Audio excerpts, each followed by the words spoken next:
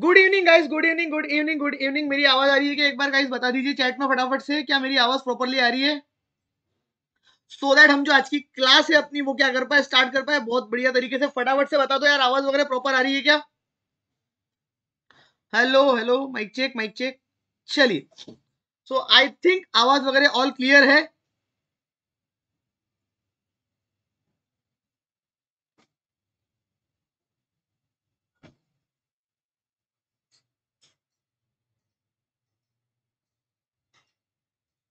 चलिए so I think मेरी voice वगैरह आवाज़ वगैरह प्रॉपर आ रही है सब कुछ क्लियर है।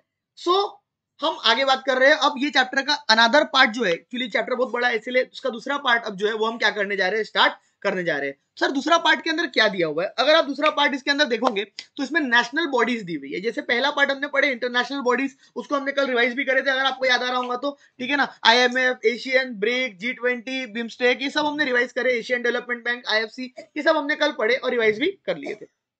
अब इस चैप्टर का दूसरा पार्ट आता है that is called as national bodies sir national bodies ये जो पार्ट है इसका, जिसके अंदर हमारी इंडिया के अंदर कुछ इंपॉर्टेंट ऑर्गेनाइजेशन है, जो गवर्नमेंट ऑर्गेनाइजेशन है, जो हमारी इंडिया के अंदर कुछ गवर्नमेंट ऑर्गेनाइजेशन है, उसके बारे में हमको यहाँ पे क्या करना है डिस्कस करना है कि वो क्या होती है, वो किस तरीके से वर्क करती है। ठीक है ना? इसीलिए उसका नाम दिया गया नेशनल बॉडीज और ये जो लेक्चर क्या आज मैं अंदर पढ़ाऊँगा आपको चीज़ ये लेक्चर के अंदर जो भी चीज़ आज मैं आपको पढ़ाऊँगा नेशनल बॉडी से रिलेटेड भाई साहब, ये बिज़नेस एनवायरमेंट के अंदर भी सेम कंसेप्ट है और यहाँ पे भी है।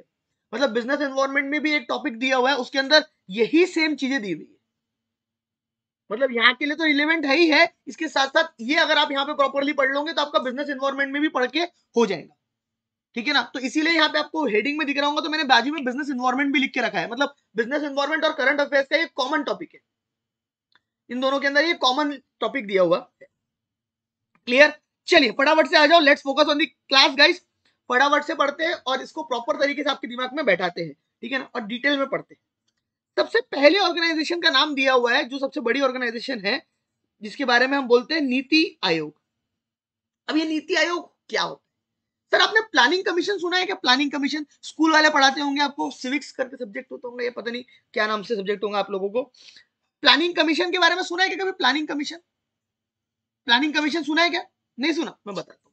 हमारी कंट्री में एक ऑर्गेनाइजेशन हुआ करती थी, जिसका नाम था प्लानिंग कमीशन उसका काम था कि हमारी कंट्री के अंदर प्लान्स बनाना। प्लान्स किससे रिलेटेड कि हमारी कंट्री आगे कैसे बढ़ेगी? किस तरीके से हमारी कंट्री को आगे बढ़ाना है? ठीक है ना? उसके लिए डेवलपमेंट के लिए क्या क्या चीज़ें करनी ज़रूरी है? वो सारी चीज़ों के लिए हमारी कंट्री के अंदर जो प्लान्स बनाने का काम करती थी, उस कमीशन का नाम था प्लानिंग कमीशन जब हमारा देश आज़ाद हुआ 1947 में, उसके बाद से 1950 से ये प्लानिंग कमीशन बना दी गई। 1950 में प्लानिंग कमीशन बन गई। कब बनी? 1950 में प्लानिंग कमीशन बन गई। और वो प्लानिंग कमीशन जब 1950 में बनी तो हर साल, हर बार क्या करती थी वो? पंचवर्षीय योजना, हिंदी में बोलते इंग्लिश में फाइव ईयर्स प्लान है ना? फाइव ईयर्स प्लान जो होते हैं, वो बनाती यानी भैया, पाँच, आने वाले पाँच साल जो रहेंगे, उसमें हमारे देश को आगे किस तरीके से लेके जाएँगे इंडस्ट्री को आगे लेके जाएँगे एग्रीकल्चर को आगे लेके जाएँगे, गरीबी हटाएँगे जॉब प्रोवाइड करेंगे, वगैरह वगैरह, इस तरीके के प्लान वो बनाती थी, हर पाँच साल के लिए। इसलिए उसको फाइव ईयर प्लान बोलते थे। अब 1950 से लेके 2014 तक तो प्लानिंग कमीशन ने प्लान बनाई, और उसके ऊपर काम हुआ। बट 2014 में क्या हुआ? मोदी जी आए and Modi ji was like कि, भैया, मित्रों, बंद करो, बोले प्लानिंग कमीशन ये प्लानिंग कमीशन 1950 से लेके 2014 तक इतने प्लान बना दी इतने प्लान बना दी बट फिर भी हमारा देश इतना डेवलप नहीं हो पाया।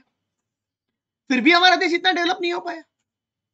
कुछ तो कमी है ना यार इसमें। यानी प्लान तो बना रहे प्लान तो बढ़िया है।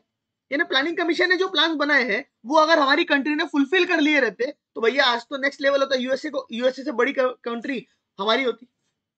बट ऐसा कुछ तो हुआ नहीं। इसलिए 2014 में प्लानिंग कमीशन को क्या कर दिया गया? बंद कर दिया गया। 2014 में अनाउंस किया गया बेसिकली कि प्लानिंग कमीशन अब हम बंद कर रहे हैं। किसने अनाउंस किया? तो प्लानिंग कमीशन को बंद करने की बात मोदी जी ने बोली 2014 15 ऑफ़ अगस्त 2014 को रेड फोर्ट से।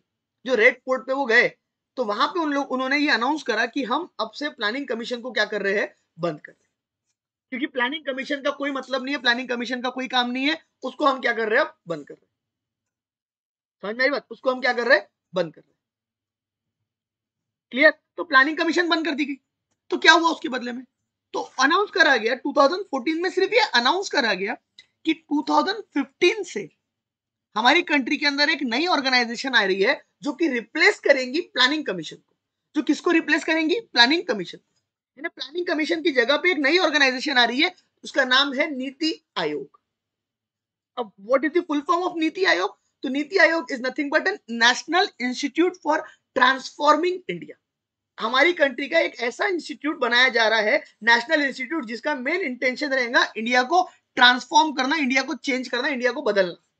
इसका मेन इंटेंशन रहेगा। और जो प्लानिंग कमीशन में कमियाँ थी, वो सारी कमियों को दूर करके ये नीति आयोग क्या करा जा रहा है, बनाया जा रहा है। तो बेसिकली 2014 में ये अनाउंसमेंट हुई थी कि प्लानिंग कमीशन बंद हो रही है एंड नीति आयोग हम क्या कर रहे हैं? ओपन कर रहे हैं। बट नीति आयोग जो है वो ओपन हुआ 2015 में देखो यहाँ पे लिखा हुआ है कि नीति आयोग यहाँ पे प्रीकर्सर है। प्रीकर्सर मतलब प्लानिंग कमीशन मतलब बेसिकली नीति आयोग के पहले जो था, वो प्लानिंग कमीशन था। तो NITI Aayog is a pre sorry planning commission is a precursor of NITI Aayog. Precursor मतलब प्री डिसेसर मतलब उसके पहले प्लानिंग कमीशन हुआ करता था। और प्लानिंग कमीशन का सक्सेसर यानी उसके बाद जो बना, वो क्या बना? नीति आयोग बना। समझ में आई बात? तो प्लानिंग कमीशन कब बना था? 1950 में। बंद हुआ 2014 में। 2014 में अनाउंसमेंट हुई कि हम बंद कर रहे हैं। ठीक है ना? उसके बाद से क्या बना? 2015 में NITI Aayog national institute for transforming India अब प्लानिंग कमीशन में क्या होता था कि प्लानिंग कमीशन जो रहती थी, उसका हेड कौन रहता था? उसका चेयरमैन कौन रहता था? तो उस समय क्या होता था कि जो भी, उस समय का प्राइम मिनिस्टर है करंट प्राइम मिनिस्टर जो भी है, वो ऑटोमेटिकली प्लानिंग कमीशन का क्या बन जाता था? हेड बन जाता था।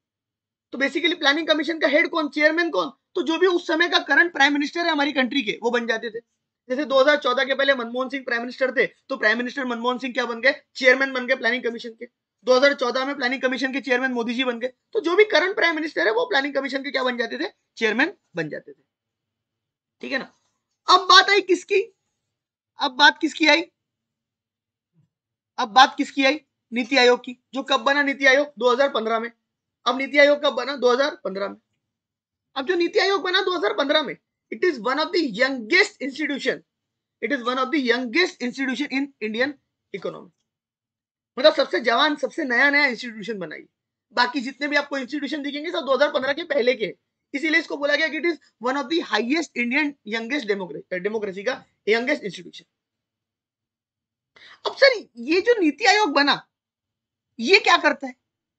ये नीति आयोग जो बना सर ये क्या करता है बेसिकली ये किस तरीके से काम करता है? ये कुछ अलग करता है क्या? नहीं नहीं जैसे प्लानिंग कमीशन काम करता है तो ये कुछ अलग करता है क्या सर? हाँ ये प्लानिंग कमीशन से थोड़ा हटके काम करता है। ये प्लानिंग कमीशन से थोड़ा अलग काम करता है NITI Aayog. Sir planning commission से हटके मतलब प्लानिंग कमीशन से अलग नीति आयोग क्या काम करता है? सो so, अगर मैं आपको बताऊँ तो नीति आयोग जो है वो थोड़ा सा प्लानिंग कमीशन से ज़्यादा काम करता है। बेसिकली प्लानिंग नीति आयोग के ये चार मेन काम है। NITI Aayog is entire gamut of activities divided into four main heads भैया नीति आयोग के जो काम है, वो चार हेड्स के अंदर, चार चीज़ों के अंदर क्या है? डिवाइडेड चार काम नीति आयोग क्या करता है? मेनली करता है। उसमें पहला काम है policy and programme framework policy and programme framework NITI Aayog सबसे पहला काम करता है कि पॉलिसी एंड प्रोग्राम फ्रेमवर्क मतलब हमारी कंट्री में कोई प्रोग्राम या पॉलिसी बनानी है तो वो बनाने का काम कौन करता है? नीति आयोग। सर, वो तो प्लानिंग कमीशन भी करता था। हाँ तो नीति आयोग भी करता है। प्लान पॉलिसी जो होती है, वो बनाने का काम कौन करता है? नीति आयोग करता है। उसके साथ साथ ये तो पहला काम हो गया नीति आयोग का। बट उसके साथ साथ नीति आयोग एक और बहुत इंपॉर्टेंट काम करता है, जिसको कहा जाता है कॉपरेटिव फेडरलिज्म थोड़ा सा प्लीज़ ध्यान से बातें सुनना इसकी, नहीं तो बाद में नीति आयोग याद नहीं आता है। Cooperative federalism sir cooperative federalism बोले तो क्या? कॉपरेटिव फेडरलिज्म का मतलब क्या हो गया? अब कैसा होता है कि कोई भी अगर मान लीजिए प्लान नीति आयोग ने बनाया तो वो प्लान जब भी नीति आयोग बनाता है या प्रोग्राम या पॉलिसी नीति आयोग बनाता है तो उसको इंप्लीमेंट करना पड़ता है। अब उसको इंप्लीमेंट कौन करती है? हमारी कंट्री की सेंट्रल गवर्नमेंट और स्टेट गवर्नमेंट जो हमारी कंट्री की गवर्नमेंट है, एक होती है सेंट्रल गवर्नमेंट और एक होती है स्टेट गवर्नमेंट ठीक है ना? तो वो स्टेट गवर्नमेंट और सेंट्रल गवर्नमेंट वो पॉलिसीज़ और प्रोग्राम को क्या करती है? इंप्लीमेंट करती है एग्जीक्यूट करती है, लागू करती है। इसमें क्या हो जाता है? कई बार ये पॉलिसीज़ और प्रोग्राम को एग्जीक्यूट करने के बीच में, इन दोनों के बीच में झगड़े हो जाते किसके बीच में? सेंट्रल गवर्नमेंट और स्टेट गवर्नमेंट के बीच में। मतलब कोई प्रोग्राम नीति आयोग ने या किसी ने बना दिया तो अब वो प्रोग्राम को एग्जीक्यूट करने की बारी जब आ रही है तो एग्जीक्यूट करने के टाइम पे क्या हो गया कि सेंट्रल गवर्नमेंट और स्टेट गवर्नमेंट के बीच में झगड़ा हो गया या कोई भी ऐसा मैटर हो गया जिसकी वजह से वो प्रोग्राम बीच में ही रुक गया। क्योंकि दोनों के कंसेंसस मैच नहीं होते। और ये पता ज़्यादा होता कब है? ऐसा कि सेंट्रल गवर्नमेंट और स्टेट गवर्नमेंट में झगड़े कब होते हैं? जब सेंट्रल गवर्नमेंट में बैठे हो बीजेपी और स्टेट गवर्नमेंट में बैठी है कांग्रेस। स्टेट गवर्नमेंट जैसे राजस्थान में स्टेट गवर्नमेंट कांग्रेस चला रही है और बीजेपी बैठी है सेंट्रल गवर्नमेंट में तो वो दोनों एक दूसरे के अगेंस्ट ही रहते तो अब उसकी वजह से क्या होता है कि जो प्रोग्राम और पॉलिसी बनाई जाती है, वो प्रोग्राम और पॉलिसी बीच में रुक जाती है। या कोई भी रीजन की वजह से सेंट्रल और स्टेट गवर्नमेंट एक कंसेंसस पे नहीं आते, इसकी वजह से जो प्रोग्राम है वो बीच में रुक जाता है। तो प्लानिंग कमीशन के टाइम पे ये सबसे बड़ा इश्यू था कि प्लानिंग कमीशन प्लान बनाती थी, लेकिन जब उसको एग्जीक्यूट करने की बारी आती थी तो एग्जीक्यूट के समय वो कुछ ना कुछ अड़ंगों की वजह से, गड़बड़ियों की वजह से रुक जाता था वहीं पे और आगे नहीं बढ़ पाता था। बट नीति आयोग ने इसका एक सोल्यूशन निकाला और इसीलिए नीति आयोग को बोला जाता है कि नीति आयोग प्रोवाइड करती है कॉपरेटिव फेडरलिज्म कॉपरेटिव फेडरलिज्म का मतलब होता है कि नीति आयोग एक ऐसा प्लेटफॉर्म प्रोवाइड करती है जिसके अंदर नीति आयोग सेंट्रल और स्टेट गवर्नमेंट के बीच में जो भी प्रॉब्लम्स है सेंट्रल और स्टेट गवर्नमेंट के बीच में जो भी प्रॉब्लम्स है, उन दोनों को बैठाती है और वो प्रॉब्लम को वहीं पे सॉल्व करवाती है। मतलब क्या? कि यहाँ पे सेंट्रल गवर्नमेंट यहाँ पे स्टेट गवर्नमेंट वो दोनों को बैठाती है और बोलती है बताओ, तुम्हारे को प्रॉब्लम क्या है? और दोनों को एक कंसेंसस पे लेके आती है, ताकि हमारा जो नेशनल कंसेंस है एक्चुअली इशू क्या है कि फ़ायदा क्या होना चाहिए? देश को फ़ायदा होना चाहिए। हम स्टेट को फ़ायदा पहुँचाए या सेंट्रल को फ़ायदा पहुँचाए, ऐसा मैटर ही नहीं रहता है। दोनों का इंटेंशन है कि देश को फ़ायदा होना चाहिए। तो नीति आयोग क्या करता है? सेंट्रल गवर्नमेंट और स्टेट गवर्नमेंट दोनों को बैठाता है। और बैठा के दोनों को क्या करता है? दोनों को बैठा के साथ में क्या करता है? काम करता है। दोनों को बैठाता है, बोलता है, बताओ तुम्हारी प्रॉब्लम क्या सोल्व करो, यही पे मैटर सोल्व करो बोले। बाद नाटक नहीं होना बोले। तेरे को क्या प्रॉब्लम है? स्टेट बता सेंट्रल देखो क्या प्रॉब्लम है? बता बोले। दोनों की प्रॉब्लम डिस्कस करते मैटर खत्म। तो उससे क्या होता है कि जो काम रुक गया है, इन दोनों के बीच में झगड़े होने की वजह से, वो काम आगे कंटिन्यू हो जाता है। और दोनों को देश को बीच में रख के मतलब ये बोला जाता है कि भाई देख सेंट्रल गवर्नमेंट समझ ले तू। अगर स्टेट नहीं डेवलप होंगी तो देश डेवलप नहीं होगा। और स्टेट को बताया जाता है कि भाई तू इस देश का ही एक पार्ट है। तो तू हद में रहे। तो दोनों को समझा के, बुझा के प्लान्स को आगे क्या करा जाता है? कंटिन्यू एग्जीक्यूट करा जाता है। That is called as cooperative federalism central और स्टेट गवर्नमेंट के बीच की जो प्रॉब्लम्स है, उसको दूर करके आगे बढ़े उसके साथ साथ यहाँ पे नहीं रुकता है नीति आयोग। नीति आयोग क्या करता है उसके साथ साथ जो वो प्लान बनाता है, जो पॉलिसी या प्रोग्राम फ्रेमवर्क को तैयार करता है जो पॉलिसीज़ वो बनाता है, उसको वो मॉनिटर भी करता है इवेल्युएट भी करता है कि जो उसने पॉलिसी बनाई, वो प्रॉपरली उसी तरीके से एग्जीक्यूट हो रही है या नहीं हो रही है? वो उसी तरीके से इवेल्युएट हो रही है या नहीं हो रही है? तो बेसिकली वो उसको इवेल्युएट भी करता है और एग्जीक्यूट भी करता है।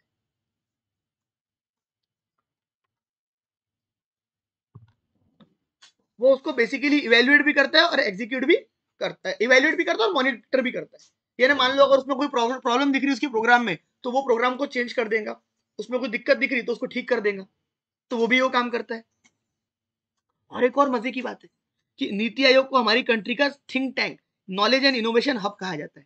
Think tank knowledge and innovation hub का मतलब होता है कि हमारी कंट्री के लिए सोचने का काम स्ट्रेटेजीज बनाने का काम प्लान बनाने का काम नई नई चीज़ों इनोवेट करने का काम ये सब नीति आयोग करता है। इसीलिए NITI Aayog is considered as think tank and also considered as knowledge and innovation तो उसको थिंक टैंक भी माना जाता है और साथ ही साथ उसको क्या भी माना जाता है? नॉलेज एंड इनोवेशन हब भी माना जाता है। इसको नीति आयोग समझ में आ रही बात? उसको क्या माना जाता है? नीति आयोग को थिंक टैंक और नॉलेज एंड इनोवेशन हब तो ये बेसिकली चार पार्ट में नीति आयोग का काम क्या है? डिवाइडेड और पहले क्या होता था प्लानिंग कमीशन में इतना काम नहीं करता था, वो सिर्फ़ प्लान बना के छोड़ देता था। अबे साले प्लान तो बनाया, लेकिन वो एग्जीक्यूट हो रहे कि नहीं हो रहे, वो प्रॉपर है या नहीं है, वो सारी चीज़ें आप लोगों को देखना बहुत ज़्यादा ज़रूरी हो जाता है। समझ में आ रही बात? वो सारी चीज़ें आप लोगों को देखना बहुत ज़्यादा ज़रूरी हो जाता है। थैंक यू खुशी। क्लियर इस तरीके से ये काम अब इसके अंदर आपको ना यहाँ पे ऑब्जेक्टिव दिखेंगे नीति आयोग के। वो याद करने की ज़रूरत नहीं है। ना उसमें दिमाग लगाना है ऑब्जेक्टिव में। कि नेशनल डेवलपमेंट को नीति आयोग हमेशा प्रायोरिटी देता है। कोऑपरेटिव फेडरलिज्म मतलब स्टेट और सेंट्रल के बीच में प्रॉब्लम सॉल्व करता है। नीति आयोग एक बहुत बढ़िया काम करता है कि वो कोई भी प्लान जो बनाता है वो विलेज के हिसाब से बनाता है। यानी क्या होता है? देखो, पहले क्या होता था? कि जो प्लान बनाए जाते थे, वो पूरे देश को ध्यान में रख के बनाए जाते थे। कि ये प्लान पूरे देश में एग्जीक्यूट होगा, ये प्लान पूरे देश में लगेगा। लेकिन नीति आयोग ने क्या करा? विलेज लेवल के हिसाब से प्लान बनाए विलेज लेवल के हिसाब से प्लान का मतलब क्या? कि वो छोटे छोटे छोटे छोटे गाँव के हिसाब से प्लान बनाता है, बाद में उन गाँव की एग्रीगेट टोटल करके पूरा देश ऑटोमेटिकली क्या हो जाएगा डेवलप मतलब उसका इंटेंशन क्या है कि हम वो विलेज लेवल पे डिस्ट्रिक्ट लेवल पे प्रॉब्लम को समझे। और वो विलेज को, वो डिस्ट्रिक्ट को जो चीज़ की रिक्वायरमेंट है, उसको हम डेवलप करें। जब हमारी कंट्री की छोटी छोटी छोटी छोटी विलेजेस डेवलप होंगी तो ऑटोमेटिकली हमारा देश भी क्या हो जाएगा? डेवलप हो जाएगा। ऑटोमेटिकली हमारा देश भी क्या हो जाएगा डेवलप हो जाएगा। तो यहाँ पे वो क्या करता है? विलेज लेवल को ध्यान में रख काम करता है। कौन? नीति आयोग। तो नीति आयोग ऑलवेज ध्यान रखता है विलेज लेवल को, ना कि वो स्टेट लेवल की बात करता है। समझ में आ रही बात? नीति आयोग विलेज लेवल की क्या करता है? बात करता है। समझ में आ रही बात? तो ये याद नहीं रखना आपको ऑब्जेक्टिव अब याद रखने वाली चीज़ें क्या है? तो याद रखने वाली चीज़ें है कि NITI Aayog cooperative federalism provide करता है। नीति आयोग कब बना? 2015 में बना। ठीक है ना? नीति आयोग किसका सक्सेसर है? सक्सेसर मतलब किसके बाद में बना? तो पहले प्लानिंग कमीशन था प्लानिंग कमीशन का सक्सेसर नीति आयोग है। नीति आयोग के पहले क्या था? प्लानिंग कमीशन था। तो प्लानिंग कमीशन नीति आयोग का प्रीडिसेसर है। प्रीडिसेसर मतलब पहले वाला सक्सेसर मतलब बाद वाला। जैसे बाप का बेटा सक्सेसर हो गया और बेटे का बाप प्रीडिसेसर हो गया। तो प्लानिंग कमीशन पहले था, इसलिए प्रीडिसेसर बाद में सक्सेसर कौन आया? नीति आयोग आया। नीति आयोग को थिंक टैंक बोला जाता है हमारी कंट्री के अंदर। आपको पूछ सकता है कि थिंक टैंक किसको कहा जाता है? नीति आयोग का। नीति आयोग का फुल फॉर्म क्या है? National institute for transforming India national institute for transforming India बच्चे बता रहे कि हमारे विलेज में डेवलपमेंट कर रहा है।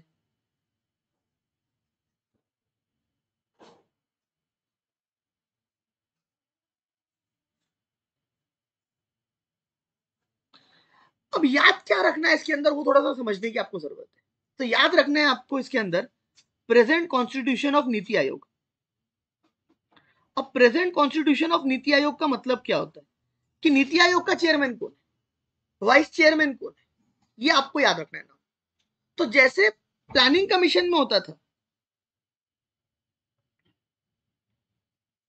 जैसे प्लानिंग कमीशन में होता था, क्या होता था प्लानिंग कमीशन में? कि प्लानिंग कमीशन के अंदर चेयरमैन कौन होता था? जो भी हमारी कंट्री के करंट प्राइम मिनिस्टर वैसे ही नीति आयोग का चेयरमैन कौन होता है? नीति आयोग के चेयरमैन होते हैं जो भी हमारी कंट्री के करंट प्राइम मिनिस्टर है सेम वैसे ही। तो आज की तारीख में नीति आयोग के चेयरमैन कौन है? मोदी जी। आज की तारीख में नीति आयोग के चेयरमैन कौन है? मोदी जी। तो मोदी जी क्या बन गए? नीति आयोग के चेयरमैन बन गए। मोदी जी क्या बन गए? नीति आयोग के चेयरमैन बन गए। ठीक है ना? ऑटोमेटिक जो भी प्राइम मिनिस्टर रहेगा हमारी कंट्री के ऑटोमेटिकली चेयरमैन बन जाएँगे। उसके बाद श्री सुमन बेरी जो है, इनका भी नाम आपको याद रखना है। वो प्लानिंग कमीशन के वाइस चेयरमैन है। चेयरमैन का नाम याद रखना ही रखना है। उसके साथ साथ वाइस चेयरमैन का भी नाम याद रखना है। तो वाइस चेयरमैन का नाम क्या है? नरेंद्र मोदी साहब सॉरी वाइस चेयरमैन का नाम है सुमन बेरी।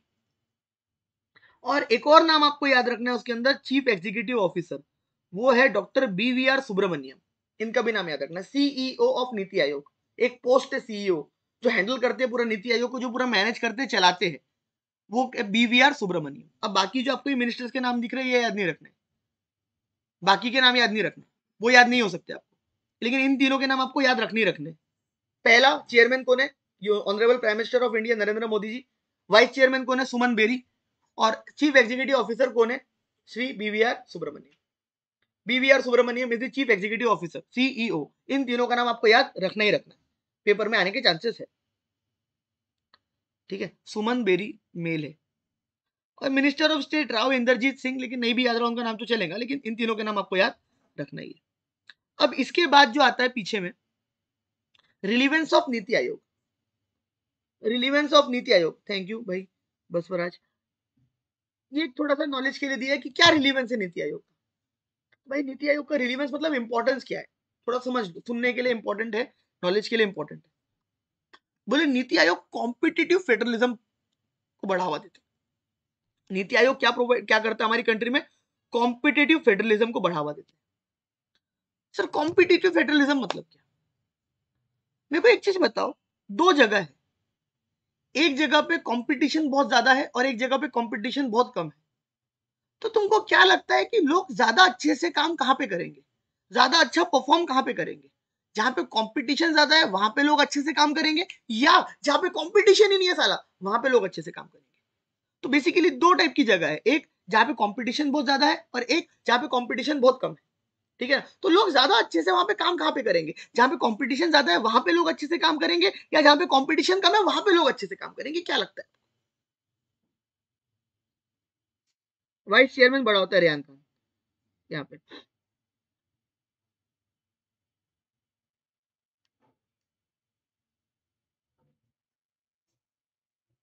जहाँ कम है वहाँ या ज़्यादा है? लोग अच्छे से काम कहाँ पे करेंगे? जहाँ पे कंपटीशन नहीं है वहाँ पे या जहाँ पे कंपटीशन ज़्यादा है? कॉमन सेंस है सर जहाँ पे कंपटीशन ज़्यादा है। कॉमन सेंस है भाई। जहाँ पे कंपटीशन ही नहीं, वहाँ पे लोग काम ही नहीं करते। गवर्नमेंट डिपार्टमेंट कहाँ काम करते? खाली बैठ रहते हो लोग। जहाँ पे कंपटीशन ज़्यादा है, जितना ज़्यादा कंपटीशन उतना ज़्यादा वहाँ पे लोग काम करेंगे। अब इसका मतलब क्या हो गया? नीति आयोग भी इसी लाइन पे चलता है।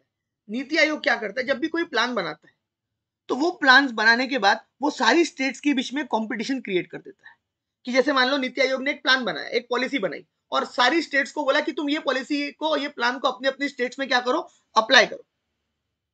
अब उसके बाद वो क्या करता है? स्टेट्स को एक और बात बोल देता है कि जितना अच्छा जो ये प्लान को अपनी स्टेट के अंदर अप्लाई करेगा एग्जीक्यूट करेगा, वो स्टेट को हम रैंक वन देंगे। जो थोड़ा कम अच्छा करेगा, उसको रैंक टू देंगे rank three rank four rank five rank six इस तरीके से।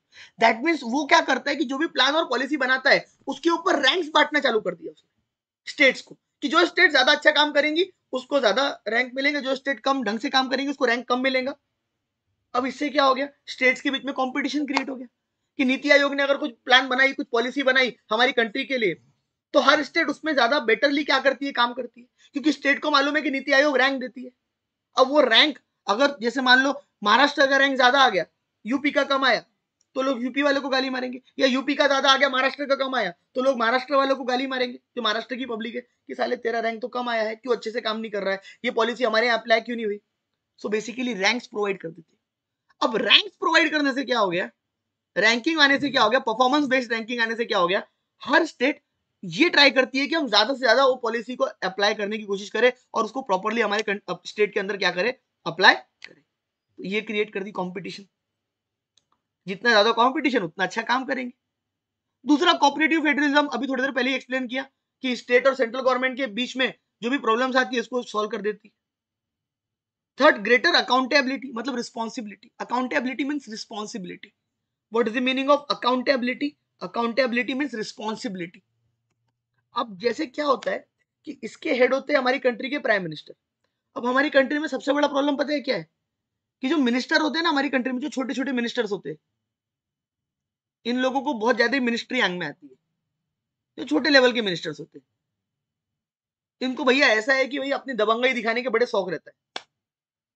तो कई बार क्या करते हैं ये लोग? कई कामों में नीति आयोग के अड़ंगा डाल देते या कई कामों में ये लोग काम रोक देते मिनिस्टर लेवल पे काम रोक दिए। मिनिस्टर साहब ने मना करे। तो ये नीति आयोग क्या करती? सीधा वो मिनिस्टर के ऊपर जवाबदारी रिस्पॉन्सिबिलिटी डाल देती कि भाई ये रमेश है, ये रमेश साला मिनिस्टर है, इसकी वजह से क्या हुआ है, ये काम रुका हुआ है। तो वो पूरी की पूरी काम रुकने की रिस्पॉन्सिबिलिटी किसके ऊपर फिक्स कर दी गई? रमेश की। कि रमेश ने ये काम को रोका हुआ है, इसके चक्कर में ये काम रुका हुआ है। अकाउंटेबिलिटी फिक्स अब इसके हेड कौन होते हैं? मोदी जी। तो रिपोर्ट मोदी जी के पास जाती है। मोदी जी को दिखता है कि भाई ये नीचे वाला मिनिस्टर बहुत, इसको बहुत मस्ती आ रही है। उसको बुला के झापते हो? और क्या? समझ में आ रही बात? तो अकाउंटेबिलिटी यानी भाई, किसकी वजह से वो पॉलिसी नहीं हो पा रही है? किसकी वजह से वो काम नहीं हो पा रहा है? क्यों नहीं हो पा रहा है वो पॉलिसी आगे क्यों नहीं चल पा रही है? रिस्पॉन्सिबिलिटी क्या कर दी है? फिक्स कर दी है। Clear yes no clear next आता है think tank of innovative idea अब ये क्या है? नीति आयोग हमारी कंट्री का थिंक टैंक है, सोचने का काम करता है। जो पॉइंट काटा हुआ चुपचाप काट देना। न्यूज़ जितनी भी है सारी न्यूज़ हम कहाँ से पढ़ेंगे? हमारे ई बुलेटिन से। तो नीति आयोग ने वैसे बहुत सारी चीज़ों को पूछ किया है कि गवर्नमेंट प्राइवेटाइज करे। मतलब हमारी कंट्री में पहले गवर्नमेंट थोड़ा सा फ्री फ़ूड बांट रही थी। आपको नॉलेज के लिए बता रहा हूँ पेपर में नहीं आने वाला। बट गवर्नमेंट क्या कर रही थी? फ्री फ़ूड बांटती रही थी। कोविड आया था ना तो कोविड के बाद से गवर्नमेंट दो साल तक फ्री फ़ूड बांटी। पर नीति आयोग ने वो फ्री फ़ूड स्कीम गवर्नमेंट की बंद करा दी। बोले, अब कोविड खत्म हो गया, बोले, अब फ्री में खाना बांटने की ज़रूरत नहीं है। ठीक है ना? नीति आयोग ने गवर्नमेंट को बोला, मत करो बोले गवर्नमेंट को मना कर दी, भाई फ्री फ़ूड नहीं बांटना। बोले कई के लिए बांट रहे हो फ्री फ़ूड सब्सिडी सॉरी खत्म करो बोले फ्री फ़ूड कोविड खत्म हो गया बोले अब। कोविड जब तक था तब तक ठीक थी, अब क्यों बांट रहे हो? तुम लोगों को लगेगा कि सर फ़ूड फ्री में बांटना अच्छी बात है? नहीं, कोई भी चीज़ फ्री में बांटना, उसका हाल होता है श्रीलंका के जैसा। फ्री कोई भी कंट्री अगर कोई चीज़ें प्रोवाइड कर रही है मतलब वो कंट्री आगे चल के बर्बाद होती है तो नीति आयोग ने बंद करा दिया। बोले, नहीं फ्री में फ़ूड बांटने की ज़रूरत ही नहीं है। बोले उसके बाद नीति आयोग ने एक और चीज़ बोली। जैसे आपको पता है ना सीबीएसई बोर्ड होता है आप लोगों का। Central board of sorry central board of secondary education CBSE board होता है वैसे ही एक बहुत ही बढ़िया सजेशन नीति आयोग ने लाया। और उन्होंने गवर्नमेंट को बोला कि यार, एक और बोर्ड बनाओ बोले। Niti Aayog proposes setting up of a separate central bank for vocational education central board for vocational education बोले, जैसे हमारी कंट्री में एजुकेशन के लिए नॉर्मल एकेडमिक पढ़ाई के लिए क्या है?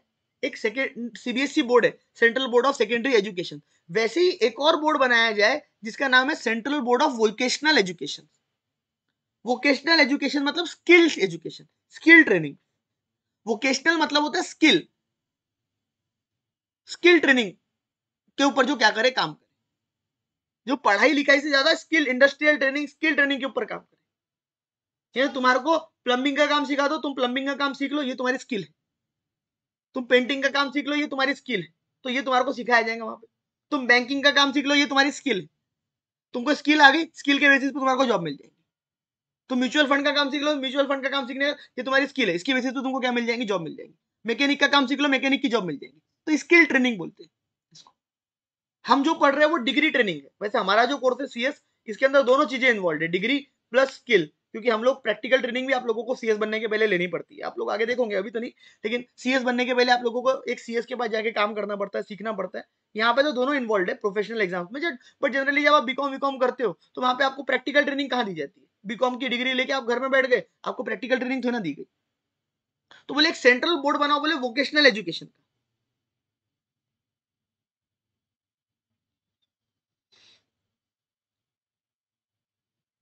क्या बनाओ वोकेशनल एजुकेशन समझ में बात? ये भी उन्होंने ज्ञान दिया। अब नीति आयोग में याद क्या क्या रखना है? बोलो मेरे साथ। सबसे पहले, नीति आयोग कब बना? 2015 में। किसका प्रीडिसेसर सक्सेसर प्लानिंग कमीशन का। प्लानिंग कमीशन कब बना था? 1950 में। कब बंद होने की बात हुई? 2014 में। थिंक टैंक कौन है? नीति आयोग। हमारी कंट्री के अंदर नीति आयोग के चेयरमैन कौन है? मोदी जी। वाइस चेयरमैन कौन है? सुमन बेरी। सीईओ कौन है? बीवीआर सुब्रमण्यम कॉपरेटिव फेडरलिज्म कौन प्रोवाइड करता है? नीति आयोग. अकाउंटेबिलिटी कौन फिक्स करता है? नीति आयोग. अब ये कोई पुराना बच्चा होगा या कोई उसके पास पुरानी सी बुक होंगी एमसीक्यू की, कुछ तो भी ऐसा होगा उसके पास। और वहाँ पे वो पढ़ रहा होगा कि सर नीति आयोग के सीईओ का नाम अमिताभ कांत दिया हुआ बेटा, वो बहुत पुराना है। बहुत पुराना है। करंटली अभी बीवीआर सुब्रमण्यम अमिताभ कांत नहीं है। क्लियर सर आरबीआई हम ऑलरेडी डिस्कस कर चुके हैं। तो अब आरबीआई दोबारा पढ़ने की ज़रूरत है कि 1935 में पढ़ा था। तो आरबीआई हम ऑलरेडी डिस्कस कर चुके हैं यहाँ पे। ठीक है ना? तो आरबीआई दोबारा आपको पढ़ने की ज़रूरत नहीं है। ऑलरेडी जो चीज़ हम पहले डिस्कस कर चुके हैं आरबीआई फाइनेंशियल अफेयर में तो क्यों दोबारा पढ़ना है? हाँ नेक्स्ट कंसेप्ट आता है SEBI. Securities and exchange board of India अब ये क्या करता है? ये ऑर्गेनाइजेशन हमारी कंट्री में क्या करती है? मेरे को बताओ स्कैम 1992 कितने लोगों ने देखा है? स्कैम 1992 मूवी है, वो कितने लोगों ने देखी है? देखी है भी कि नहीं देखी पता नहीं। लाइक वाइक करा करो वीडियो अच्छी लगती है तो। स्कैम 1992 जो है, वो मूवी कितने लोगों ने देखी स्कैम 1992 मूवी जो है, वो कितने लोगों ने देखी और जिसने नहीं देखी है आई रिकमेंड हॉटस्टार वगैरह पे शायद या सोनी लीव पे मैं भूल गया। गूगल पे देख, मिल जाएगा, किस पे मालूम पड़ जाएँगी। जाओ और जाके देखो। आज देख लेना, कल देख लेना। सीरीज़ है। बहुत लोगों ने देखी है, बहुत लोगों ने नहीं देखी है। क्या देखते हो जीवन में तुम? बेसिकली वो सीरीज़ है वेब सीरीज़ है। मूवी नहीं है वेब सीरीज़ है। और stock market fraud stock market कांड के ऊपर है, जो 1992 में बहुत बड़ा स्टॉक मार्केट में फ्रॉड हुआ था। बहुत बड़ा। स्टॉक मार्केट में फ्रॉड हुआ था, उसके ऊपर है। तो बेसिकली तब से ही ये सेबी को बहुत पावर दी गई और सेबी बनाई गई। तो सेबी का जो स्टेब्लिशमेंट हुआ, सेबी जो बनी, वो बनी ट्वेल्थ ऑफ़ अप्रैल 1992 को। Securities and exchange board of India was established on April 12 1992 और ये सेबी जो बनी, ये सेबी एक्ट बनाया गया, जैसे आरबीआई कैसे आरबीआई एक्ट 1994 है। उसके तहत आरबीआई 1935 में फाउंड हुआ। वैसे सेबी भी एक एक्ट के तहत बनाया गया, सेबी का एक्ट है 1992 सेबी का एक्ट नाइनटीन 1992 और वो सेबी एक्ट के तहत क्या बनाया गया? सेबी फॉर्म किया गया स्टैब्लिश किया गया। कब फॉर्म किया गया? ट्वेल्थ ऑफ़ अप्रैल 1992 पेपर में आ सकते हैं।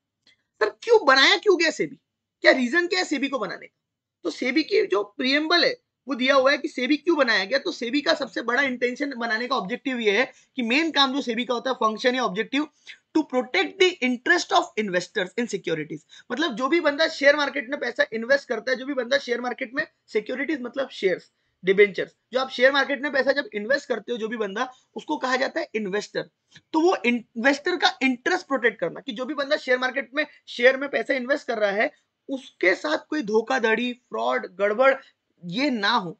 इसीलिए सेबी को क्या करा गया? फॉर्म करा गया। जैसे आरबीआई को फॉर्म करा गया डिपॉजिटर्स का इंटरेस्ट प्रोटेक्ट करने के लिए कि जो बैंकों में डिपॉजिटर्स पैसे जमा करते हैं, उनके साथ कुछ गड़बड़ी ना हो, इसीलिए आरबीआई बनाया गया बैंकों की नज़र रखने के लिए। वैसे ही सेबी बनाया गया हमारी कंट्री का जो शेयर मार्केट है, स्टॉक मार्केट है, उनको रेगुलेट करने के लिए। जैसे आरबीआई बैंकों को रेगुलेट करता है, वैसे ही शेयर मार्केट को रेगुलेट कौन करता है? सेबी।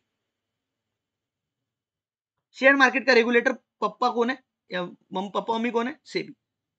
पहला काम इन्वेस्टर जो पैसा जमा कर रहे हैं शेयर मार्केट में इन्वेस्ट करे उनका इंटरेस्ट प्रोटेक्ट करे। दूसरा काम तो हमारी कंट्री में प्रमोट करे डेवलपमेंट एंड रेगुलेट करे सिक्योरिटीज मार्केट मतलब शेयर मार्केट सिक्योरिटीज मार्केट मतलब शेयर मार्केट और उससे related matters connected therewith और इंसिडेंटल डेयर टू मतलब हमारी कंट्री का शेयर मार्केट या शेयर मार्केट से जो ब्रोकर्स कनेक्टेड होते हैं, दलाल ब्रोकर सब ब्रोकर्स होते हैं।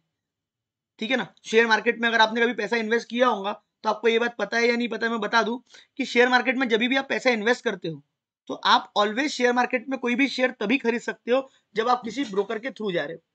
आप डायरेक्टली कोई भी शेयर मार्केट में शेयर खरीद ही नहीं सकते। आप हमेशा शेयर मार्केट में जब भी कोई शेयर खरीदोगे या बेचोगे, वो किसी शेयर मार्केट के ब्रोकर के थ्रू ही खरीदे या बेचोगे। सर, मेरे पास तो ऐप है, मैंने ऐप से खरीदा, बेटा वो ऐप एक ब्रोकर है। तो विदाउट ब्रोकर आप शेयर मार्केट में कोई ट्रांजेक्शन कर ही नहीं सकते। तो शेयर मार्केट का जो ब्रोकर्स है शेयर मार्केट है, उनको रेगुलेट करने के लिए और उनको साथ ही साथ डेवलप करने के लिए सेबी को बनाया एक टाइम पे share market is nothing like nothing but like आपका सब्ज़ी मार्केट आप सवेरे कोई उठ के कोई सब्ज़ी मार्केट में चले जाओ, जैसा सब्ज़ी मार्केट में हल्ला होता है, जैसा सब्ज़ी मार्केट में कामकाज होता है सेम वही लाइंस पे शेयर मार्केट एक टाइम पे 1992 के पहले हुआ करता था सेम वही लाइंस पे। बस फ़र्क ये था कि सब्ज़ी मार्केट में थोड़ी सी गन, आ, मतलब वही मिट्टी मिट्टी रहती है क्योंकि एकदम रोड पे बैठते हैं वो लोग एक बाकायदा एक बिल्डिंग के अंदर बैठते थे बाकी कोई फ़र्क नहीं। मैंने कंपेयर गलत नहीं करा मैंने बेस्ट एग्जांपल से कंपेयर करा। शेयर मार्केट एंड सब्ज़ी मार्केट में कोई फ़र्क नहीं था। बट फिर शेयर मार्केट अब ऑनलाइन हो गया है। आप घर बैठे कोई भी शेयर खरीद सकते हैं आपके साथ कभी धोखाधड़ी नहीं होती है। ये सब जो शेयर मार्केट में डेवलपमेंट हुए this is because of this is all because of SEBI. SEBI आया सेबी ने ये सब डेवलपमेंट किए।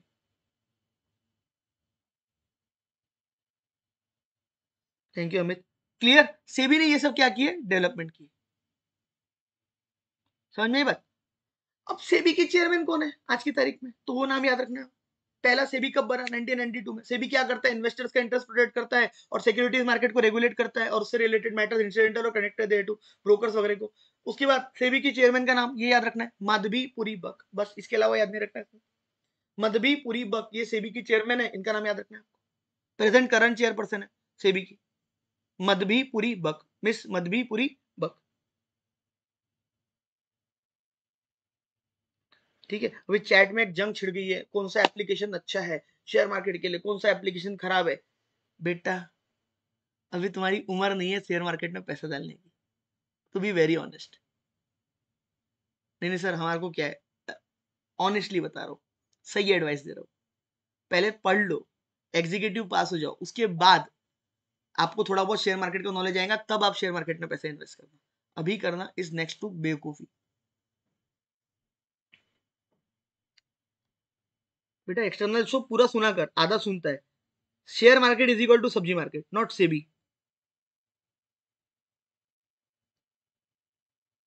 Clear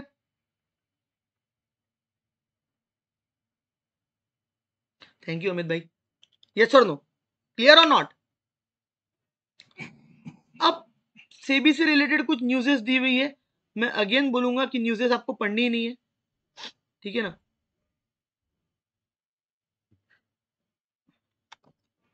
ये न्यूज़ेज आपको यहाँ से पढ़नी नहीं है। हम लोग न्यूज़ेज जो है वो कहाँ पे कवर करेंगे? अलग से। ये बुलेटिन जो हम अलग से पढ़ेंगे जब, वहाँ पे आपको मैं सारी न्यूज़ेज कवर करा दूँगा। तो यहाँ पे आपको न्यूज़ पढ़नी नहीं है। ठीक है ना? सीधा दो पेज के आगे आ जाओ इन्वेस्टर चार्टर में, जहाँ पे शेयर खरीदा और बेचा जाता है तरुण साहब। शेयर मार्केट मतलब ऐसी जगह जहाँ पे शेयर खरीदे और बेचे जाते हैं। कोई भी कंपनी का जो शेयर होता है, वो खरीदे और जहाँ पे बेचे जाते हैं काटा हुआ है तो काट लेना, ठीक है ना? जहाँ पे कोई भी कंपनी के शेयर खरीदे और बेचे जाते हैं, ऐसी जगह को शेयर मार्केट कहा जाता है।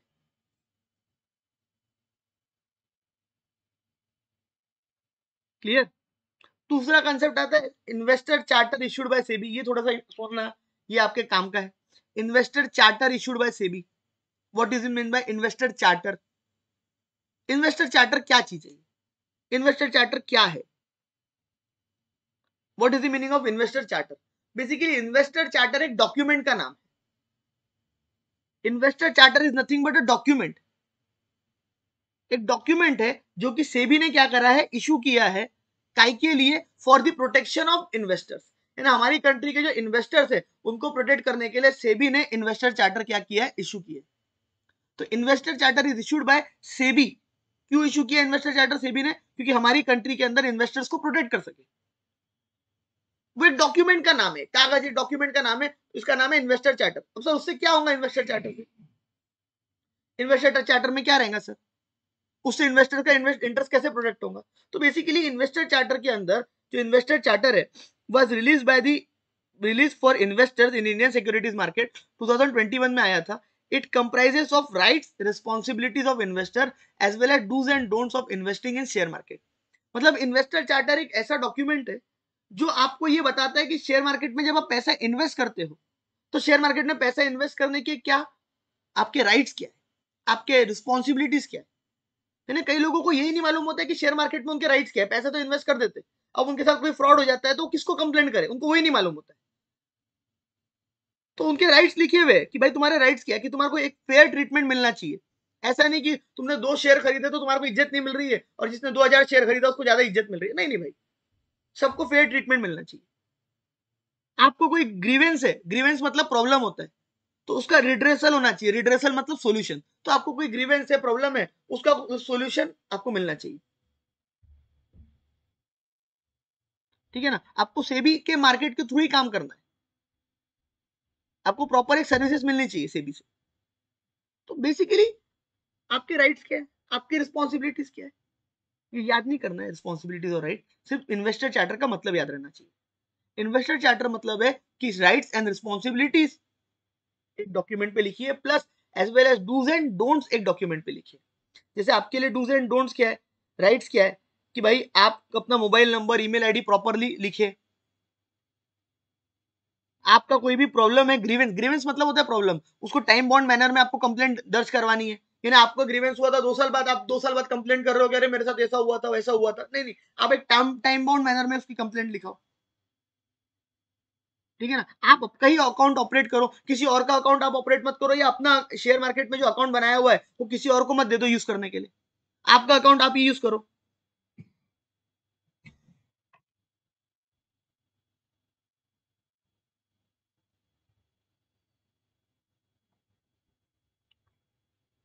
क्लियर क्या करना चाहिए भाई? ग्रीवेंस वगैरह तो आपको फ़ाइल करने चाहिए। तो ये याद नहीं करनी है पूरी चीज़ें। इट इज़ नॉट आपकी याद करने सॉरी ये आपके याद करने की चीज़ें नहीं है। बेसिकली ये जो चीज़ें आपको यहाँ पे दी हुई, आपको नॉलेज के लिए दिया हुआ है क्या कि इन्वेस्टर चार्टर क्या होता है? पेपर में ज़्यादा में ज़्यादा इसमें से दो क्वेश्चन आ सकते हैं। पहला क्वेश्चन इन्वेस्टर चार्टर किसने इशू किया? सेबी ने इशू किया। दूसरा क्वेश्चन इन्वेस्टर चार्टर क्या है? इन्वेस्टर चार्टर एक डॉक्यूमेंट का नाम है, जिस डॉक्यूमेंट के अंदर dos and don'ts and rights and responsibilities sorry rights and responsibilities of investor plus dos and don'ts for the investors वो लिखा होता है। वो सब इन्वेस्टर चार्टर के अंदर डॉक्यूमेंट में लिखा होता है। बस इतना आपको याद रखना है। यही तो खासियत है करंट अफेयर की, कि हम लोग इसके अंदर सब चीज़ें याद करने की कोशिश करते हैं, और याद कुछ भी नहीं होता है। और याद कुछ भी नहीं होता है। इसीलिए जितना मैं बोल रहा हूँ, अगर उस तरीके से आप पढ़ोगे करंट अफेयर तो आप मैक्सिमम चीज़ें क्या कर पाओगे? कवर कर पाओगे। अब कुछ कुछ बच्चे ना यहाँ पे राइट्स और रिस्पॉन्सिबिलिटीज और डूज एंड डोंट्स याद करते बैठ घर में। आप सोच के देखो ना कि आपको लिखने आने वाला है पेपर में। करंट अफेयर में आपको ये पूछेगा कि what are the rights and responsibilities और लिखने को आएगा आपको। नहीं ना। तो थोड़ा सा हमको करंट अफेयर को प्रॉपर तरीके से पढ़ना पड़ता है, नहीं तो समुंदर है भाई ये। कितना ही पढ़ लो, कम पड़ता है आखिरी तक। इसीलिए जितना समेटना है, उतना प्रॉपरली समेटो। नेक्स्ट आता है competition commission of India CCI अब ये क्या करती है सीसीआई इसका क्या काम है? कंपटीशन कमीशन ऑफ़ इंडिया क्या करती है? इसका क्या काम है? नाम से क्या लग रहा है? हमारी कंट्री के अंदर कंपटीशन को प्रमोट करने के लिए एक ऑर्गेनाइजेशन बनाई गई है, जिसका नाम है कंपटीशन कमीशन ऑफ़ इंडिया मैं वापस से रिपीट कर रहा हूँ। हमारी कंट्री के अंदर कंपटीशन को प्रमोट करने के for promoting the competition in our country हमारी कंट्री के अंदर कंपटीशन को प्रमोट करने के लिए। एक ऑर्गेनाइजेशन फॉर्म करी गई है। उस ऑर्गेनाइजेशन का नाम है competition commission of India CCI उस ऑर्गेनाइजेशन का नाम क्या है? Competition commission of India CCI अभी सीसीआई क्या करता है? किस तरीके से काम करता है?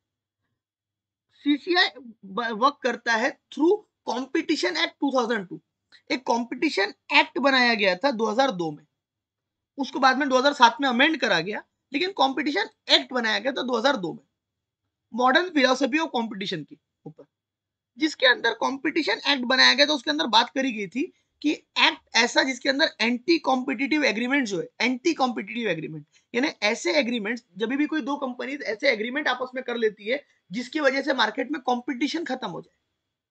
अब जैसे फॉर एग्ज़ाम्पल जियो और एयरटेल अगर दोनों ने हाथ मिला लिया तो दोनों में हाथ मिलाने की वजह से क्या हो जाएगा? हमारी कंट्री के अंदर टेलीकॉम इंडस्ट्री में कंपटीशन खत्म हो जाएगा। तो दोनों ने अगर एग्रीमेंट कर लिया फॉर एग्ज़ाम्पल जियो और किसने? एयरटेल ने, और ये बोल दिया कि हम दोनों एक हो जाते हैं अब जियो और एयरटेल एक हो जाते हैं तो आप सोच के देखो, ये जो डेटा प्लान ये जो इंटरनेट ये जो कॉलिंग प्लान आप लोग यूज़ कर रहे हो, इसका वो तीन गुना चार्ज आपसे करेंगे तो भी आपको देना पड़ेगा। आपके पास कोई ऑप्शन नहीं बचेगा। बट ऐसा होने नहीं देगा कौन? कॉम्पिटिशन कमीशन ऑफ़ इंडिया अगर कॉम्पिटिशन कमीशन ऑफ़ इंडिया को ऐसा लगता है कि कोई भी ऐसा एग्रीमेंट हो रहा है, या कोई भी ऐसा एक्विजिशन या कंट्रोल हो रहा है मर्जर हो रहा है एक्विजिशन मर्जर मतलब खरीद रहा जा रहा है, जिसकी वजह से हमारी कंट्री में कंपटीशन खत्म हो रहा है वो मार्केट के अंदर तो कंपटीशन कमीशन ऑफ़ इंडिया वो चीज़ को रोक देगा। मर्जर मतलब दो कंपनीज़ का एक होना।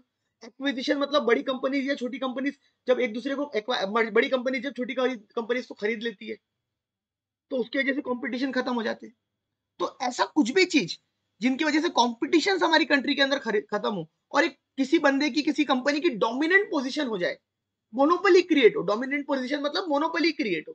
ठीक है ना? तो ऐसी चीज़ों की वजह से हमारी कंट्री में जो कंपटीशन खत्म हो जाए और मोनोपोली क्रिएट हो जाए, ऐसी चीज़ों को कंपटीशन कमीशन ऑफ़ इंडिया कभी होने ही नहीं देगा। होने ही नहीं देगा। होने ही नहीं देगा। ऐसे होने नहीं देगा। अब तुम्हारे मन में क्वेश्चन अराइज हो रहा होगा। होता ही है भाई अराइज नॉर्मल क्वेश्चन तो लेकिन वोडाफोन और आइडिया तो मर्ज हो गए। उनको कंपटीशन कमीशन ऑफ़ इंडिया ने नहीं रोका। वोडाफोन और आइडिया तो सर मर्ज हो गए। उनको कंपटीशन कमीशन ऑफ़ इंडिया ने नहीं रोका। उनको कंपटीशन कमीशन ऑफ़ इंडिया ने नहीं रोका। वो तो एक हो गए। उनको क्यों नहीं रोका कंपटीशन कमीशन ऑफ़ इंडिया ने? क्योंकि उनकी वजह से, उनके मर्ज होने की वजह से हमारी कंट्री में कॉम्पिटिशन खत्म नहीं हो रहा था। जियो मार्केट में था एयरटेल मार्केट में था। उनके मर्ज होने की वजह से भी कोई कंट्री में कंपटीशन खत्म नहीं हो रहा था। उल्टा वो बेचारे बर्बाद हो गए थे तो एक होके कम से कम जी गए। वो डूब डूब रहे थे बेचारे। अब डूब रहे थे तो उनको मर्ज होना ज़रूरी हो गया था। समझ में बात? अभी कंपटीशन कमीशन ऑफ़ इंडिया किसने बनाई? कौन ने बनाया कंपटीशन कमीशन ऑफ़ इंडिया जैसे आरबीआई जो है, वो एक एक्ट के थ्रू बना हुआ है आरबीआई एक्ट 1934 सेबी जो है, वो भी एक एक्ट के थ्रू बना हुआ है सेबी एक्ट 1992 तो कंपटीशन कमीशन ऑफ़ इंडिया ये बनाया गया सेंट्रल गवर्नमेंट ने इन 2003 याद रखना। कब बनाया गया competition commission of India CCI 2003 में किसने बनाया? सेंट्रल गवर्नमेंट यानी हमारी कंट्री की जो सेंट्रल गवर्नमेंट है, उन्होंने बनाया कंपटीशन कमीशन ऑफ़ इंडिया जो कंपटीशन एक्ट के ऑब्जेक्टिव्स को फुलफिल करने का काम करता है। बेसिकली इनका काम क्या है कि जो कंपटीशन एक्ट के अंदर जो भी चीज़ें लिखी हुई है, उसको फुलफिल करने का काम कंपटीशन कमीशन ऑफ़ इंडिया करता है। और ये ट्राई करता है कि हमारी कंट्री के अंदर हमारी कंट्री के अंदर anti competitive agreement dominant position का गलत अब्यूज या एक्विजिशन मर्जर मर्जर एक्विजिशन ये ना हो, जिससे कंपटीशन खत्म हो जाए। अब sir competition commission of India के अंदर कितने लोग होते? हैं पेपर में क्वेश्चन एक दो बार आया हुआ है। कब, एक क्वेश्चन पेपर में आया कि कब बना कंपटीशन तो कंपटीशन कमीशन ऑफ़ इंडिया बना 2003 में। दूसरा क्वेश्चन एक बार आया था कि कितने लोग कंपटीशन कमीशन ऑफ़ इंडिया के अंदर होते? हैं तो एक होता है चेयरमैन और छह उसके अलावा होते हैं मेंबर्स तो एक होता है चेयरपर्सन और छह मेंबर्स होते हैं कंपटीशन कमीशन ऑफ़ इंडिया में। तो टोटल मिला के सात लोग कंपटीशन कमीशन ऑफ़ इंडिया के अंदर होते हैं। एक होता है चेयरमैन उसके अलावा छह और मेंबर मतलब टोटल सात member competition commission of India के अंदर होते हैं। Presently there are total seven number of members जो कि कंपटीशन कमीशन ऑफ़ इंडिया का पार्ट है। उसमें से आपको चेयरमैन का नाम याद रखना है।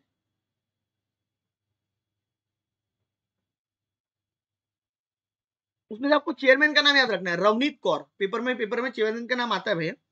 चेयरमैन का नाम आपको याद रखना है, जिनका नाम है रवनीत कौर क्या नाम है? चेयरमैन का रवनीत कौर पेपर में नाम पूछ सकते चेयरमैन का।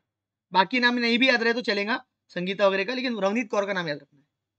क्लियर तो total eight one plus six कब बना? 2003 में। किसने बनाया? सेंट्रल गवर्नमेंट ने। क्या करता है? एंटी कॉम्पिटेटिव एग्रीमेंट्स को abuse of dominant positions merger acquisition जो कंपटीशन के अगेंस्ट हो एमएलगेमेशन उसको रोकता है। पहले यहाँ तक पूछो, कोई डाउट है, फिर आगे बात करते हैं। पहले यहाँ तक पूछो कोई डाउट है क्या? फिर आगे बात करते हैं।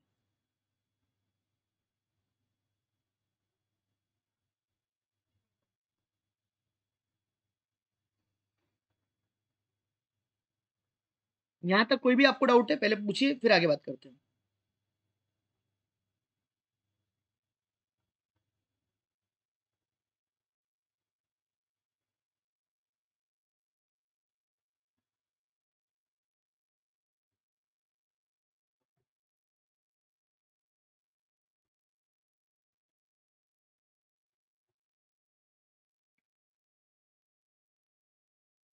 क्लियर चलिए। अब सर न्यूज़ वगैरह याद रखनी है कि उससे रिलेटेड कंपटीशन कमीशन ने डॉक्ट्रिन ऑफ़ नेसेसिटी के ऊपर काम किया था। डॉक्ट्रिन ऑफ़ नेसेसिटी मतलब कि कभी दो ऑर्गेनाइजेशन को मर्ज होना है तो ज़रूरी है क्या मर्ज होना? वगैरह वगैरह, काम का नहीं है। ये याद रखना है आपको। ये एक पॉइंट याद रखना सेकंड वाला। Regional office west competition commission of India in Mumbai inaugurated by Shrimati Nirmala Sitharaman honourable finance and corporate affairs minister ये थोड़ा याद रखना कि एक इन लोगों ने कंपटीशन कमीशन ऑफ़ इंडिया वालों ने एक अपना क्या खोले? रीजनल ऑफ़िस खोले। एक ऑफ़िस खोले रीजनल ऑफ़िस कहाँ पे? मुंबई में। रीजनल ऑफ़िस वेस्ट जैसे मुंबई वेस्ट की तरफ़ वेस्ट में आता है, ठीक है ना? तो रीजनल ऑफ़िस खोले कहाँ पे? मुंबई में। महाराष्ट्र बेसिकली वेस्ट में आता है। तो रीजनल ऑफ़िस कहाँ पे खोले? मुंबई में। ठीक है ना? किसका? कंपटीशन कमीशन ऑफ़ इंडिया का। और वो ऑफ़िस इनोग्रेट करा गया रीजनल ऑफ़िस मतलब ब्रांच ऑफ़िस खोले और वो ऑफ़िस इनोग्रेट करा गया by the Shrimati Nirmala Sitharaman ma'am honourable finance and corporate affairs के मिनिस्टर तो हमारी कंट्री के जो फाइनेंस और कॉर्पोरेट अफेयर्स के मिनिस्टर है, उन्होंने ये इसको क्या करा? इनोग्रेट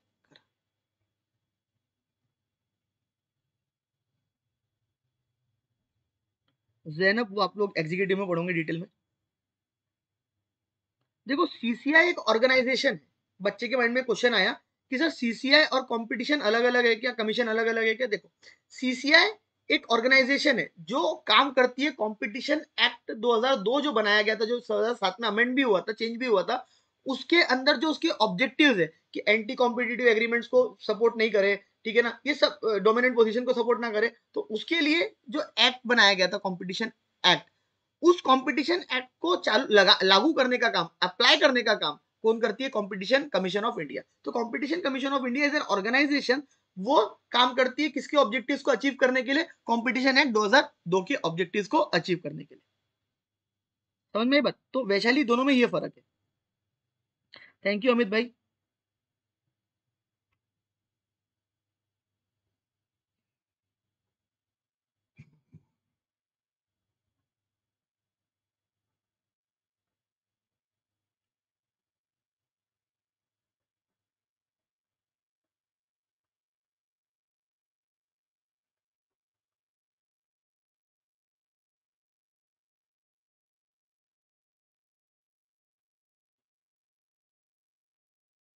क्लियर चलिए।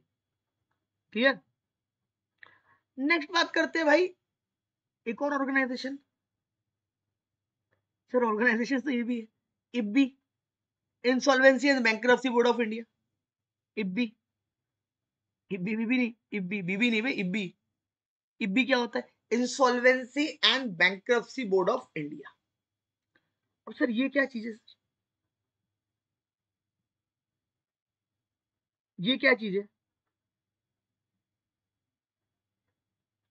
ये क्या चीज़ है? सर, हमारी कंट्री में होते हैं इंसॉल्वेंट लोग होते कुछ। कुछ लोग हमारी कंट्री के अंदर इंसॉल्वेंट हो जाते हैं। इंसॉल्वेंसी या इंसॉल्वेंट होने का मतलब क्या होता है? जब भी कोई बंदा मैं इसमें एग्जांपल देता हूँ, विजय मालिया, अनिल अंबानी, ठीक है ना? जब भी कोई बंदा अपने डेप्ट अपनी लाइबिलिटीज अपना लोन नहीं चुका पाते ऐसे सिनेरियो, ऐसी सिचुएशन को कहा जाता है इंसॉल्वेंट यानी कोई भी बंदा इंसॉल्वेंट तब बनता है, जैसे रमेश, वो इंसॉल्वेंट या कोई भी बंदा इंसॉल्वेंट तब बनता है, जब वो अपना उधार, अपना डेप्ट चुकाने के काबिल नहीं रहता है। भैया जैसे अनिल अंबानी अनिल अंबानी को करोड़ों रुपए देने थे बट उसके उतने पैसे नहीं थे। तो वो क्या बन गया? इंसॉल्वेंट वो क्या बन गया? इंसॉल्वेंट तो उसको बोला जाता है इंसॉल्वेंसी तो इंसॉल्वेंसी एक सिचुएशन है। ये अराइज कब होती है? जब आप अपने डेप्ट चुकाने के काबिल नहीं रहते। जब अपने डेप्ट आप चुकाने के काबिल नहीं रहते हो। तो उसको बोला जाता है कि वो क्या बन गया? इंसॉल्वेंट बन गया। समझ में बात? अब उसमें एक और इंपॉर्टेंट बात ये आ जाती है कि बैंक मतलब क्या होता है? अब वैसे आप लोग देखोगे जनरल लोगों की भाषा में तो इंसॉल्वेंसी और बैंक दोनों एक ही जैसे लगता है लोगों को। दोनों एक ही है बोलते हैं। ठीक है, दोनों एक है लेकिन दोनों में थोड़ा सा डिफरेंस है अनिल अंबानी इंसॉल्वेंट कहलाया गया जब वो अपने डेप्ट चुकाने के काबिल नहीं था।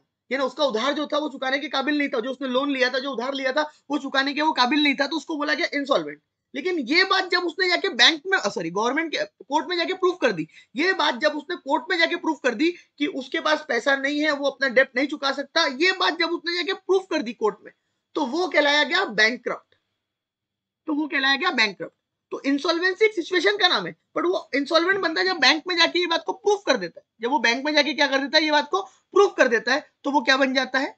Bank sorry bank my mistake court में जाके प्रूफ कर देता है तो वो क्या बन जाता है? बैंक तो कोर्ट जब उसके ऊपर मोहर लगा देता है कि भाई अब अनिल अंबानी इस साल इससे पैसा नहीं मिलने वाला, इसने पैसा तुम्हारा डुबा दिया ये पैसा देने के काबिल नहीं है, ऐसे बंदे को कहा जाता है बैंक अब ऐसे लोगों के लिए जो हमारी कंट्री में इंसॉल्वेंट या बैंक हो जाते हैं, चाहे लोग हो, चाहे कोई कंपनी हो ऑर्गेनाइजेशन हो ठीक है ना? अगर वो हमारी कंट्री में इंसॉल्वेंट या बैंक हो जाते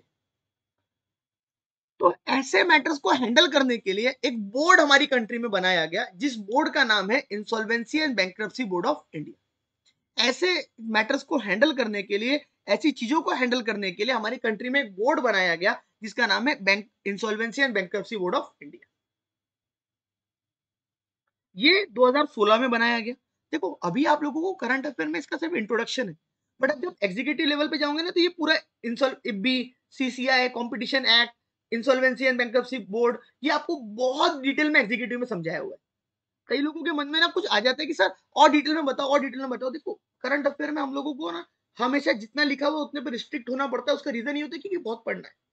ठीक है ना? लेकिन आपको एक चीज़ बता दू कि आपको इस चीज़ का नॉलेज एग्जीक्यूटिव में बहुत मिलने वाला है। बहुत डिटेल में दिया भाई, बहुत डिटेल में। पूरा खुद खुद के दिया हुआ है अंदर तक।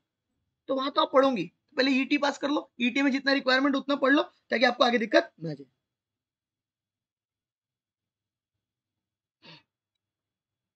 क्लियर यस और नो तो अब insolvency and bankruptcy board of India ये कब बना? 2016 में। किसने बनाया? इंसॉल्वेंसी बैंक कोड बना 2016 का। आईबीसी कोड बना। वो बनाया गया। तो आपको याद क्या रखना है? ज़्यादा कुछ याद नहीं रखना है। क्या याद रखना है? इंसॉल्वेंसी बोर्ड कब बना? 2016 में बना। इसके चेयरमैन का नाम क्या है? रवि मित्तल। इसके अलावा आपको कुछ याद नहीं रखना है। ठीक है ना? ये कब बना? 2016 में बना और ये इसका चेयरमैन का नाम क्या है? रवि मित्तल। बस, इसके अलावा आपको कुछ याद नहीं रखना। तीसरा ये याद रखना है कि हमारी कंट्री में इंसॉल्वेंसी से रिलेटेड मैटर्स को कौन हैंडल करता है? इब्बी हैंडल करता है। पेपर में कई बार इसका फुल फॉर्म या इसको हैंडल कौन करता है? वो आता है। और तीसरा, इसके चेयरमैन का नाम क्या है? ये आता है।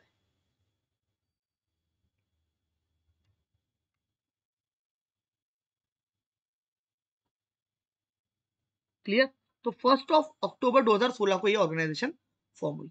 इसमें थोड़े बहुत चेंजेस आए थे वो चेंजेस भी करेगा बट पुरानी न्यूज़ तो याद रखने की ज़रूरत नहीं है। इसमें कुछ चेंजेस आए थे अमेंड अमेंड मतलब चेंजेस आए थे, वो आपके याद रखने की ज़रूरत नहीं है। सर हमने कंपनी सेक्रेटरी इंस्टीट्यूट के बारे में ऑलरेडी पढ़ ली है लीगल अफेयर्स में। क्या बोलते हो? ये ऑलरेडी हम पढ़ चुके हैं institute of company secretaries of India के बारे में।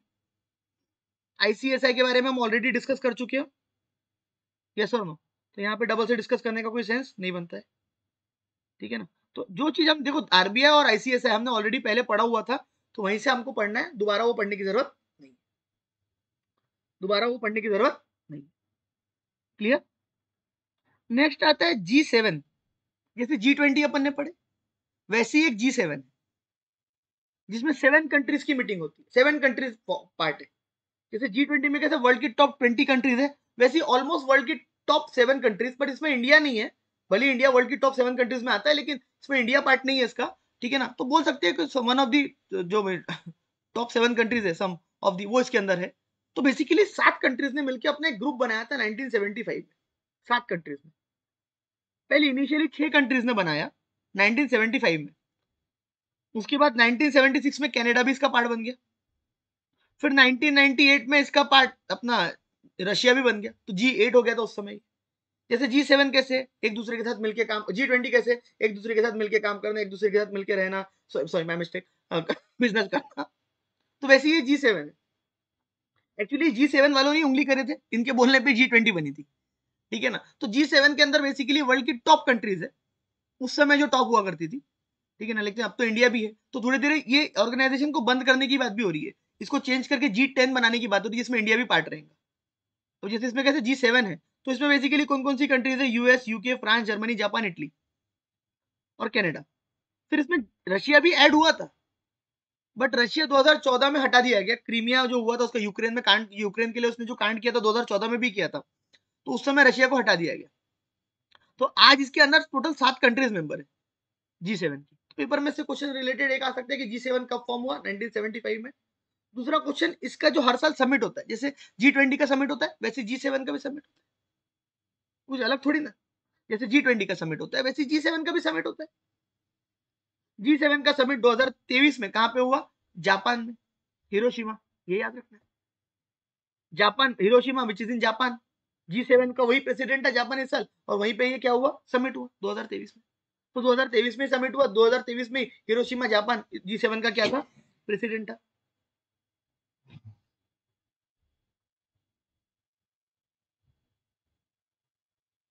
क्लियर तो आपको ये याद रखना है। अब यहाँ से थोड़ा सा आपको सुनना पड़ेगा गाइज़ प्लीज़ ध्यान दो प्लीज़ सभी लोग, और कुछ बाय बाय बोलना चालू करती है बेटा, जब तक मैं बाय ना बोलूँ, तब तक क्लास खत्म नहीं होती। ठीक है ना? तब तक क्लास खत्म नहीं होती है। अब थोड़ा सा ना यहाँ पे सुनने की ज़रूरत है आपको। दो मिनट रुकेंगे। अब सर, इसके बाद का ये पेज पूरा का पूरा काटना है। इसके बाद का ये पेज सर, क्यों काट रहे हैं? क्योंकि जी सेवन दो हज़ार बाईस में क्या बोला गया था, वो हमारे काम का नहीं है। ये पूरा का पूरा काटना है आपको। ये तीन पेज टोटल तीन से चार पेज आपको हाथ भी नहीं लगाने। सर, क्यों नहीं? बेटा, ये तीन से चार पेज मैं आप लोगों को ई बुलेटिन के अंदर से कवर करवा दूँगा। यहाँ से नहीं करने। इसमें जो चेंजेस आए होंगे, पुरानी चीज़ें हो गई, आपके काम की नहीं। तो आपके पढ़ना ही नहीं है इसको, तीन से चार पेज नहीं तो बाद में आपको गड़बड़ लगेगी। ठीक है? पढ़ना है जिसको, ऐसा लगता है कि नहीं, मेरे को पढ़ना ही चाहिए। पढ़ो। मैं स्टैम्प पेपर में बोल रहा हूँ लिख के कि इसमें से आ नहीं सकता क्योंकि या तो इसमें से चीज़ें चेंज हो गई है। या तो रिलेवेंट नहीं है। ठीक है? तो इसके अलावा जो चीज़ हम काट रहे हैं ना, उससे ज़्यादा आप लोग मैराथन में ये चीज़ देखोगे कि उससे ज़्यादा मैंने जितनी चीज़ें काटी उससे टू टाइम्स या थ्री टाइम्स ज़्यादा न्यूज़ में आपको मैराथन में याद करवा के दूँगा अलग से।